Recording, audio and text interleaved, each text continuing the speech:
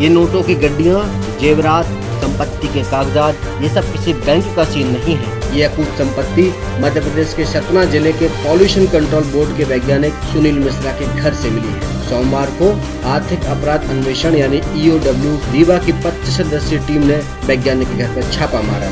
ये सब खुलासा इस छापे में हुआ है। छापे की कार्रवाई सतना के मारुति नगर स्थित सुबह घर पर छह बजे के करीब हुई। टीम ने जब डोरबेल बजाई तो दरवाज़ा जूनियर वैज्ञानिक सुशील मिश्रा ने ही खोला। जैसे ही पता चला छापा पड़ा है तो वैज्ञानिक गैस खा कर पड़े छापा मारने आई टीम ने उन्हें संभाला। कुछ देर बाद उनको होश आया तो अधिकारियों ने कार्रवाई शुरू की। बताया कि अभी इनका फार्म हाउस का जो कमरे हैं उसकी तलाशी नहीं हुई है।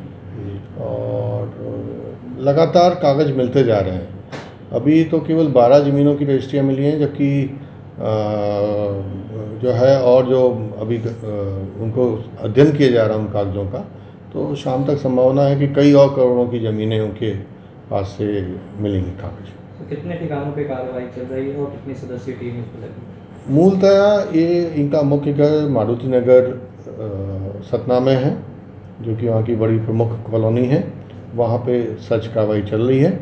और इसमें हमारी टीम में दो इंस्पेक्टर हैं, चार सब इंस्पेक्टर हैं और करीब 25 सदस्यीय टीम इसमें सर्च कर टी आई मोहित सक्सेना और प्रवीण चतुर्वेदी के नेतृत्व में टीम की कार्रवाई जारी है। अब तक घर से ही करोड़ों की संपत्ति मिली है। इसकी कीमत करीब सात करोड़ के आसपास है। इसमें 30 लाख रुपए नगद 15 जमीनों की रजिस्ट्री, जिनमें सतना स्मार्ट सिटी से लगा हुआ सात एकड़ का फार्म हाउस भी शामिल है। दस लाख रुपए से ज़्यादा के जेबरात मिले हैं। इसके अलावा थ्री टू व्हीलर और फोर फोर व्हीलर शामिल है।